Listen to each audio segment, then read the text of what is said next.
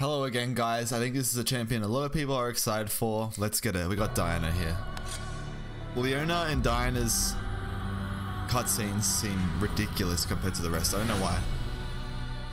This is like late Each game, final boss. Is an act of passion. Let's check it out. Diana seek out targets. Night Nightfall synergy, I see. Whoa. She's a cheap unit. Yes, dude. Yes. Find your own light cheap the units. darkness. Quick attack challenger. Light I cherish, Queen Sister. Okay.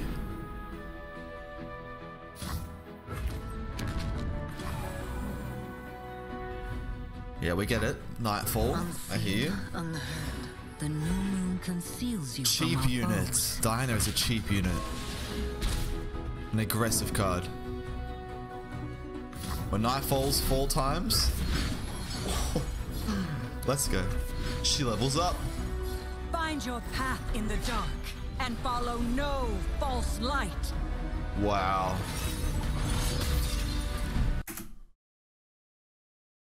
She's so cheap. Nightfall, or when you activate another Nightfall, give me plus two and challenge this round. Wow, that's like. She's not like super crazy out there in terms of mechanics, but damn, is she valuable.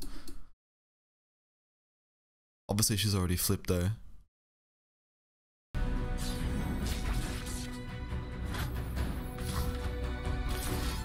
The truth protects our cause.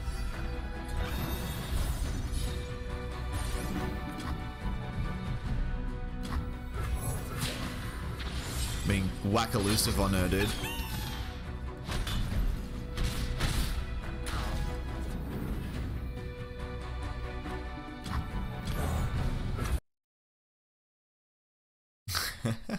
give her elusive. There we go. Nightfall. Give me and an ally elusive this round. That looks like a 6 mana 4 2 with the effect though. It's kind of expensive.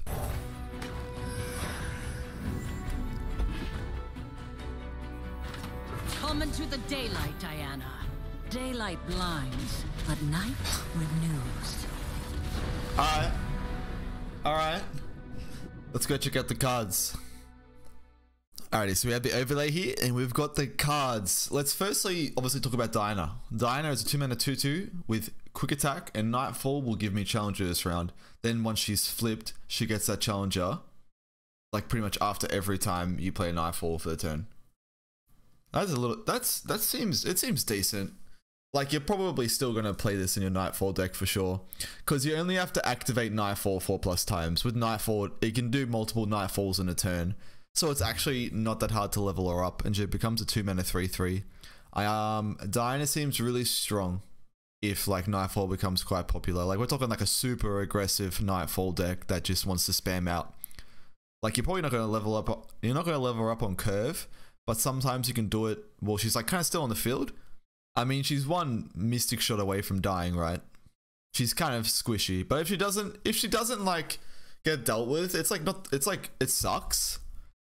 But she's a two mana two two that provides you value, and she has a quick attack inbuilt, so it's a really really strong play on turn two. She also has Nightfall herself, so you can combo her with the card. Uh, her champion spell, Diana's Pale Cascade. Give an ally plus two plus one this round. Shuffle Diana into your deck. Nightfall, draw one. Wow. So this is a burst speed, give an ally plus two plus one, and Nightfall, draw one. Which usually like this is gonna be like one of those cards that oftentimes gets Nightfall anyway during combat. Unless of course you're open attacking, then it's not the case. The actual spell itself seems reasonable. Um, mainly for the card draw. The two one, eh, but it's a two mana draw one a lot of the time. This is kind of similar to the other card that we saw with the heal two, draw t- uh, draw one. That seemed quite powerful. This will see play. Even outside of Diana's champion's signature spell, this card will definitely see play. Let's jump over to the top right there. Hush, a three mana burst speed spell. Silence a unit this round, creating uh, create a fleeting hush in hand. How good is this card? Silence is very niche, right? It's great for like trading into other units that have effects. Let us let us wait and see how powerful Hush is because it's a super valuable card in terms of this fleeting Hush uh, kind of replayability. Um, if this sees any play, it's definitely not going to be a three of. But I can see some people experimenting with this card as a one of at first. Hush. Like, I don't know, we haven't seen like full silence cards like this before. Like the closest comparison I can refer to this card would be referring to other card games such as Hearthstone, where silence can be quite powerful. But in this game, it's completely different. Silencing is your opponent always gets to have prior on like blocking and stuff, so we're not really like silencing certain units that get in the way of our plan. And it's only for this round; it's not permanently. I think that card is average to below average, somewhere in between there. Uh, just thinking about the current set of cards and how powerful silence generally is, it's not super strong. We do get the silence champion, so. So I'm not sure how it works in terms of like, let's say Anivia open attacks against you and then you hush. I'm not sure if that actually stops the effect from happening. We also have the Cygnus, the Moonstalker. So that's a 6 mana 4 2 with Nightfall. Will give me an ally elusive this round. Is this another decent finisher for Nightfall? Literally, if you don't Nightfall this out, the card is actually garbage. You have to Nightfall it out. Like that's says no other way. So it's not the best on curve play unless you've got combo pieces in hand. Is this a decent finisher? It has to be considered. It has elusive. Elusive's quite strong in general. So I have to give this card an average to above average. But it seems quite expensive for at what point in the game elusives are kind of relevant. I wonder if aggro decks that build built into Nightfall can just kind of get the game done faster than this. I don't know. I don't know about I don't know about the Moonstalker card. I think um we might have other paths of ending the game sooner. I think we want to end the game super fast with a Nightfall deck. At least that's my first impression of building a Nightfall deck. I want to make a super aggressive deck that just plays like I don't know. If we're gonna do like what they want us to probably do, Nightfall, Diana, Targon, Shadow Isles, aggro deck. I don't know the value of Cygnus the Moonstalker when realistically I want to end the game even quicker than turn 6. However, we don't really have any solid over the top finishes, so board presence is going to be the most important for like this Nightfall deck. And maybe being able to go elusive towards the end of the game is the way to finish. Granting Diana elusive is kind of nutty, especially if you played lots of Nightfall units that round or activate Nightfall. So perhaps Cygnus, Cygnus the Moonstalker will see play. And if I could put it on any level of similar similarity to another card, I think I'll take Citrus Courier for example. Because Citrus requires you to have a little bit of setup to get the uh, bonus effect, which might be a multiple cards or damaging the Nexus. Citrus is pretty strong. This can also do a very similar thing in the sense that instead of like open attacking to try and activate Citrus Courier, you can simply just uh, play a certain card, then play Cygnus the Moonstalker, grant you allies elusive, and putting it onto a Dine is pretty strong, especially after she's flipped. Like you could be attacking immediately with a uh, a five two and a four two with elusive. That seems like a pretty good finisher.